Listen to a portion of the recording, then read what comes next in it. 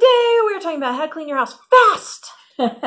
if company's coming over or Mother-in-law calls calls and says I'm 20 minutes away. Or you're you just sick of it. Sometimes you just get sick of it and that's okay. Please subscribe and hit the bell notification so you can be notified when we put up new videos.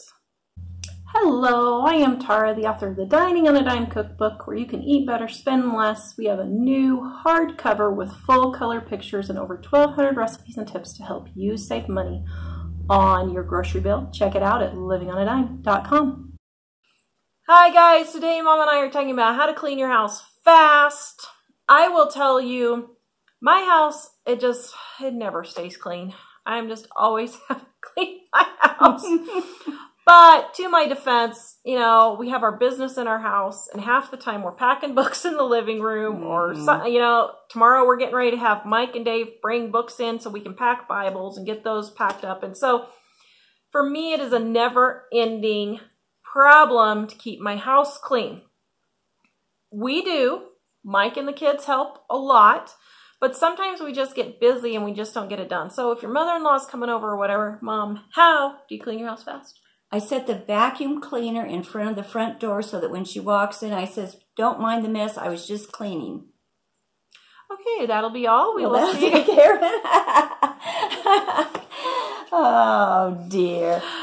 Actually, Ugh. what you do is okay. If this, let's say it's company coming, so you don't need to clean the whole house from top to bottom for company. You can close a lot of doors, a lot of bedroom doors, utility drawer doors, anything you can mm-hmm. close. close it off. Usually, you need to have. And the way your house is arranged, of course, makes a difference. Mm-hmm. But usually, you'll need the living room first. Then you'll need maybe the bathroom, and depending if it's open to the kitchen, mm-hmm. you or you think you'll be going into the kitchen, you might need to do the kitchen. So what I would do is I'd go into the living room. I'd take a large wicker wicker basket or or something like that, Laundry basket. and a, a large trash bag, and I will zip through and I'll grab everything that doesn't belong in that room, throw it in the basket, throw the trash in the trash bag, and get that out of the room. straighten the shoes, straighten the coats, and you're moving on. Yeah, straighten whatever, then you straighten whatever's left and just then you go into the bathroom. And I just scoop all the toiletries if I, I have to in a little basket and hide them away in a vanity someplace.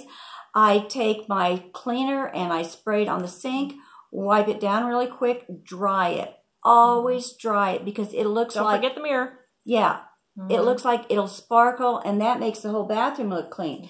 Then, if you have pull the shower curtain shut and take and just wipe, not a deep clean, just take a rag and wipe down the toilet seat and make sure there's mm-hmm. not, you know, a whole lot of obvious. Gross. Yeah, on there. So you got the bathroom done. Now, if you need to, shake the rug in the mm-hmm. bathroom. If Empty the trash if you and need yeah, to. it, but but otherwise you pretty much have the bathroom done. Mhm. And uh, then in the kitchen, if I have to do it really fast, I would just fill the sink. I don't have a dishwasher. Throw the dishes in the dishwasher if you haven't, but I will fill the sink up with really hot soapy water, scoop all the dishes in there, and put them in the hot soapy water, wipe off the countertops and the kitchen table.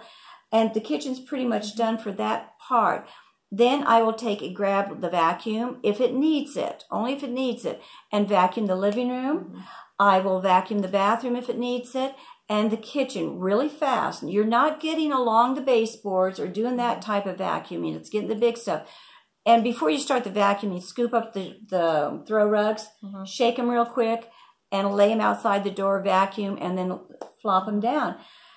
You can take a feather, if you have a time after that, you can take a feather duster to the living room if mm-hmm. you need to, but dusting can be left till, you know, very Yeah, last. yeah. Only. But here's the thing: if you just keep up on it on a regular basis, That's a true secret. like Thanksgiving, we had had a great big sale.